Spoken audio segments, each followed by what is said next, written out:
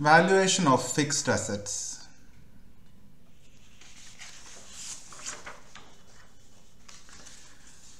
One type of capital assets, fixed tangible assets are used in the operation of a business. Mainly, it belongs to one of the below given categories, namely land and buildings which are generally not subject to depletion or depreciation except in some cases. Plant and machinery subject to depreciation and then mines, oil wells which is uh, subject to depletion. So valuation is done on the basis of the following observations which are for depreciable assets which is fixed assets which may be depreciated the assets are valued at cost minus a proper allowance made for depreciation. For fixed assets that deplete, maybe mines, ores, etc., the assets are valued at cost minus an allowance made for depletion. For all non-depreciable assets, the assets are valued at cost. So that is the basis on which valuation is done on these capital assets. Next, we'll take a look at valuation of land and building. So here satisfactory evidence need, needs to be obtained in regard to uh, needs to be obtained from the owners of the land and building for the property valuation. The following steps are to be followed by the auditor. So the auditor should first prepare a schedule of land accounts that need to be uh, done. So a schedule of land accounts needs to be prepared. Next, title deeds need to be examined.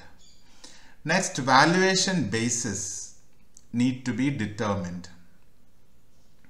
Income from land and land maintenance costs need to be determined. So these are some of the things which the auditor has to do before doing valuation of land and buildings. So actually the different steps if you really see that an auditor should follow for valuation of land and buildings are first is schedule of land accounts needs to be prepared as was told earlier. Title deeds needs to be examined. The most important task of the auditor in relation to audit of land is to determine ownership of the land and its proper valuation. So auditor should complete all of the below. It, he should examine the title deeds related to the property. If the property is mortgaged, if it is uh, mortgaged to a bank or if it is mortgaged in general, the auditor should get a certificate from the, uh, from the mortgage regarding possession of title deeds and the loan amount of the property being mortgaged. A certificate from banker is needed if the title deeds are deposited with them for safe custody. So if it is with the banker uh, deposited for safe custody, then a certificate from the banker is required. Auditor should visit the property and premises that belongs to the client.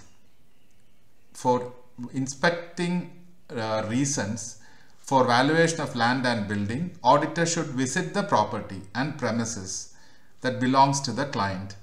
A certificate needs to be obtained from legal advisor of the client that may assure the correctness of the property's title deed.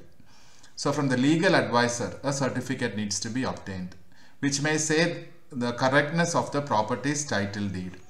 For any property purchases, the auditor should give an undertaking for the same and should be shown in the balance sheet at cost including legal and registration charges. So for any property purchases, what needs to be done? An undertaking needs to be uh, given by the auditor and this should be shown in the balance sheet at cost including legal and registration charges. For leasehold, the auditor should validate the deed, the lease deed, and certify its value and duration and make sure everything is capitalized, including legal expenses in connection to the leasehold, if the property is on lease. If any land is sold, auditor should make sure, this is apart from leasehold, the next item which he should do is, if it is not a leasehold, and if any land is sold, auditor should make sure profit or loss on sale is correctly accounted for in the books. After all of this, he has to do the valuation basis. So the valuation basis need to be determined and should be valued at cost. Income from land and land maintenance costs needs to be determined. So these are the detailed steps which an auditor should follow before val uh, while valuating land and buildings.